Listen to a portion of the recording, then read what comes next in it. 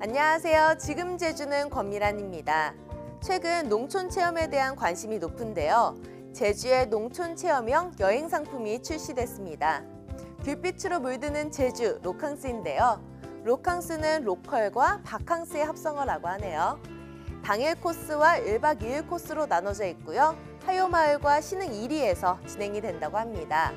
감귤과 동백을 이용한 요리 만들기, 숲 체험, 테우 체험 등 다양한 체험이 마련되어 있다고 하네요. 이번 가을 제주에서 로캉스 떠나보시는 건 어떠세요? 지금 제주는 시작합니다. 먼저 오늘 제주 어떤 소식이 있는지 만나보시죠.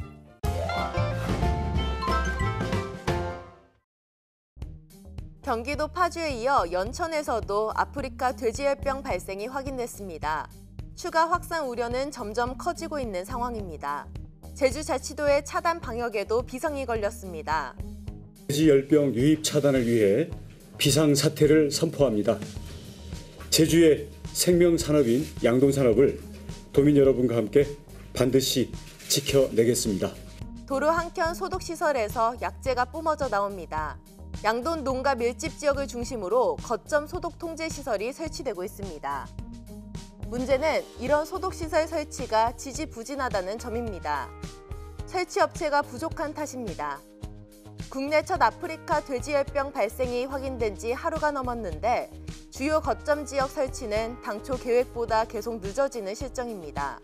게다가 수의직 공무원 인력도 모자라 전문 예찰이나 방역 관리에 한계를 보이고 있습니다. 제주자치도는 공항만 불법 축산물 유입 차단을 위해 자치경찰을 비롯해 방역 인력을 추가 배치했지만 양돈 농가의 불안감을 잠재우진 못합니다. 제주에 아프리카 돼지열병이 유입되면 연간 4천억 원에 이르는 양돈 산업의 붕괴를 불러올 수 있는 만큼 보다 철저한 차단 방역 대책이 필요해 보입니다. 제주 동문재래시장에 노점 판매대가 있습니다. 2001년 노점 회원 상판 이용 약관이 만들어졌고 20여 년째 운영 중입니다. 현재 운영 중인 매대는 30여 곳 정도. 노점 자판 운영을 두고 기존 상인들의 불만이 제기되고 있습니다.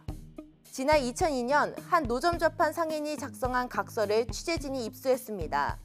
시청과 체결한 협약서에는 노점 자판의 이동뿐만 아니라 매매와 양도 대여가 불가능하다고 되어 있습니다. 하지만 일부 상인 회원이 이곳을 불법으로 대여해 사용하고 있다는 주장입니다. 매매도 불가능하고 그리고 자기 아들이나 누구한테도 못 넘겨 그리고 그리고 다른 데서 들어오지도 못해 근데 이게 다른 데 장사하다가 일로 온 거예요 신고하고 단속도 진짜 여러 번 했어가지고 아니 신고 안 들어왔다면 그건 진짜 문제가 있는 거. 그 가게를 운영한 사람들은 그거를 못 받게 되잖아요 원래. 네, 그런데 그거를 해- 하고 있었기 때문에 하고 있었기 때문에 아무 의미가 없다니까. 일부 상인들은 관리감독 부서인 시청에 민원을 넣은 지도 수년째라고 불만을 토로했습니다. 제주시청의 상황을 물었습니다. 동문 재래시장 내 노점 접한 운영은 소방도로 확보와 고객 편의를 위해 영업을 지향하는 것으로 확인됐습니다. 초창기 2002년 각서를 작성하지 않은 사업자가 중간에 바뀔 수도 없는 것으로 드러났습니다.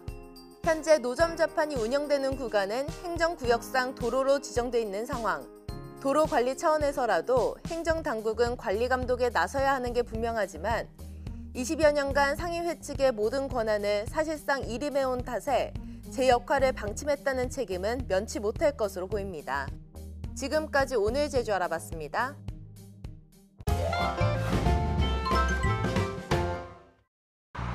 안녕하세요. 저는 오늘 조천에 위치해 있는 밀크티가 맛있는 커피숍에 나와 있습니다. 이곳이요, 밀크티만 맛있을 뿐만 아니라 분위기도 유럽풍으로 고급지대요. 이곳에서 밀크티 한 잔 하면서 좀 편하게 쉬었다가 가려고요. 그런데요, 여기 앞에요. 저를 환영해주는 할머님이 있어요. 또 어디서 많이 본 분 같지 않나요? 제가 이곳을 지나다니면서 사람들이 이 할머니 소피 앞에서 사진 찍는 모습을 많이 봤었거든요. 그래서 저도 보면서 아 나도 한번 찍어보고 싶다 생각을 했는데 오늘 함께 동영상을 찍습니다. 하나 둘 셋 김치 짜잔 개봉 박두 짜잔 와 분위기 너무 좋지 않나요? 와 너무 예쁘다. 여기 바로 앞에 찻잔들이 되게 많아요. 우와 이 찻잔 너무 마음에 듭니다. 와 여기 여러 사람이 함께 차를 마실 수 있는 단체석이 있는데요. 테이블 위에 예쁜 꽃들이 있어요. 어 드라이 플라워 아니다. 이거 생화예요. 그리고 여기 다양한 쿠키? 쿠키인가? 이거는 귤 통째로 말린 거래요. 맛있겠다. 이곳이요. 진짜 인기 있는 커피숍이 확실히 맞는 것 같아요. 지금 제가 온 이후 15분이 지났는데요. 사람들이 계속 들어와서 지금 다 찼어요. 거의 다 찼어요. 그리고요, 여기서 주문을 할 때 메뉴판을 가지고 와서 주문을 할 때는 어, 포인트가 종이 있어요. 이 종을 올리면 주문을 할 수 있습니다. 짠! 저의 밀크티가 나왔습니다. 얼핏 보면은 그냥 따뜻한 밀크티 같죠? 근데 그렇지 않아요. 층이 나눠져 있어요. 지금 가장 밑이 베이스, 그리고 가운데 우유, 그리고 위에는 생크림이라고 했거든요. 너무 예쁘지 않나요? 그리고 이 밑에 예, 이 컵 받침이요. 너무 고급스러워요. 너무 예뻐요. 이거를 섞어서 먹으면 되거든요. 자, 어, 네, 아까워요. 아까워서 못 섞겠어. 오, 여기 얼음 보이시나요? 이게 이게 얼음이에요. 자, 이제 밀크티를 마셔볼게요.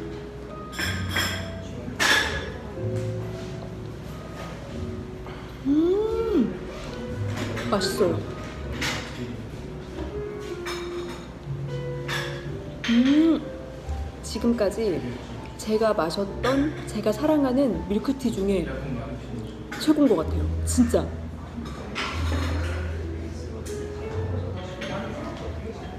음, 진짜 맛있다.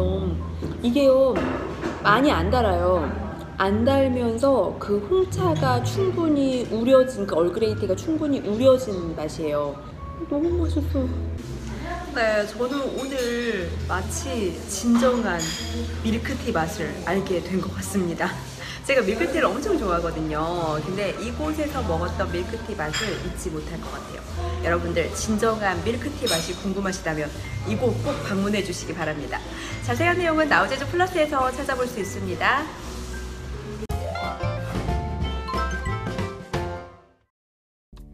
오늘 제주는 대체로 맑겠는데요. 쾌청한 하늘과 함께 공기질도 깨끗하겠습니다. 내일 오후부터 차차 흐려지겠고요. 모레 새벽부터 비가 시작되겠는데요. 비는 주말 내내 이어질 것으로 예상됩니다. 그럼 이어서 좀 더 자세한 오늘 제주의 날씨 전해드리죠. 오늘 제주는 대체로 맑겠으나 동풍이 유입되는 북동부와 산지에는 가끔 구름이 많겠습니다. 오늘 낮 기온은 26도에서 27도 되겠습니다. 내일은 구름이 많다가 늦은 오후부터 모레까지 흐리겠습니다. 모레 새벽부터 열대 저압부에 의해 비가 시작되겠고 비는 주말 동안 계속 이어질 가능성이 있겠습니다. 다음은 제주 항로를 포함한 바다 날씨입니다. 오늘 오후 제주 해상은 대체로 맑겠고 물결이 1.5에서 3m로 일겠습니다. 현재 제주도 남쪽 먼바다에는 풍랑특보가 발효 중이며 제주도 남쪽 먼바다를 중심으로 바람이 강하게 불고 물결도 높게 일고 있습니다. 그 외 해상에도 물결이 2에서 3m로 높게 일고 있어서 유의하셔야겠습니다. 오늘 제주 항로로 오가는 여객선은 대체로 정상 운항될 것으로 예상됩니다. 다만 기상 여건과 선박 사정에 따라 결항 또는 시간이 변경될 수 있습니다. 다음은 공항 날씨입니다. 오늘은 인천공항 등 전국공항이 맑겠으나 동해안 공항은 동풍의 영향으로 오전까지 구름 많고 산발적으로 빗방울이 떨어지는 곳이 있겠습니다. 한편 제주공항은 대체로 맑은 하늘 보이겠습니다. 전국공항에 내려진 별다른 특보는 없으며 오늘 제주기점 항공편은 대체로 정상 운항될 것으로 예상됩니다. 지금까지 날씨 정보였습니다.